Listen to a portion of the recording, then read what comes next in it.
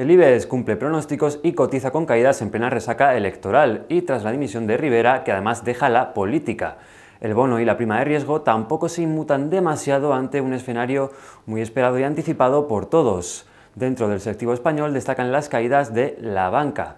La otra cara de la moneda está siendo Grifols. La biofarmacéutica catalana sube tras anunciar su refinanciación el pasado viernes al cierre del mercado. En Wall Street los futuros vienen con caídas también. Trump volvió a echar un jarro de agua fría al ánimo inversor el pasado viernes y lo hizo al afirmar que aún no se ha llegado a un acuerdo con China sobre los aranceles.